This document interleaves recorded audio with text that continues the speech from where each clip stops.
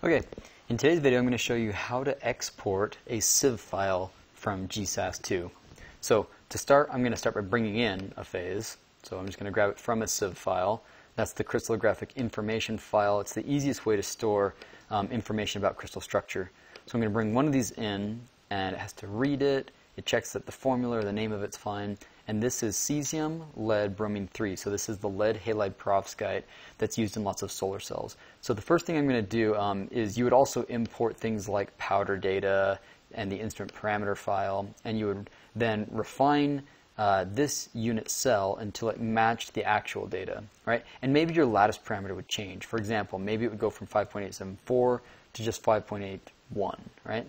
Um, anyways, you would finish your refinement, and when you're satisfied with your refinement, and you're ready to export it, it's really simple. You're going to go up here to your export tab, and you can either eh, you know you can export the entire thing, the phases, powder data, and so forth. What we want is a phase, right? It's this phase of matter that now has a modified, say, lattice parameter or atomic positions or anything else.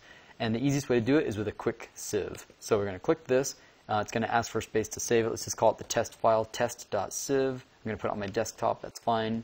Sure enough, you just saw it appear there. It also is asking, hey, you know, you haven't saved your project file. Fine, we can name that test as well, .gpx. And there's our uh, GSAS 2 file, and here is our uh, file. Now you'll notice that this CIF file, it looks like the icon for Vesta. That's because I already have Vesta installed on my computer. If you haven't used that, watch for my YouTube uh, tutorial on that. I'll put in the description. It is the best, easiest way to visualize crystal structures, in my opinion.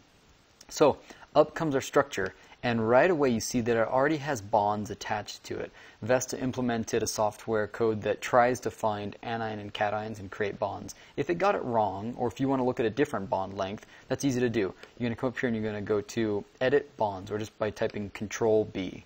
Control B will pull this up, and you see that it already knew to bond lead with bromine, right? And it searches between 0 angstroms all the way up to 3.62. So it uses some algorithm to figure that out.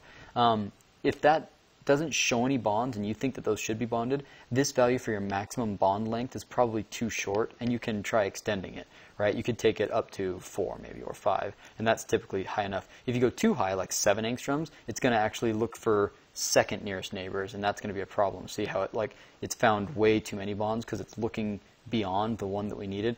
So we need to change that back. So instead of 7, let's move that back down to something like 4, which is a reasonable number. Okay, so we know that the bond is somewhere between 0 and 4 angstroms. How do we know the exact length?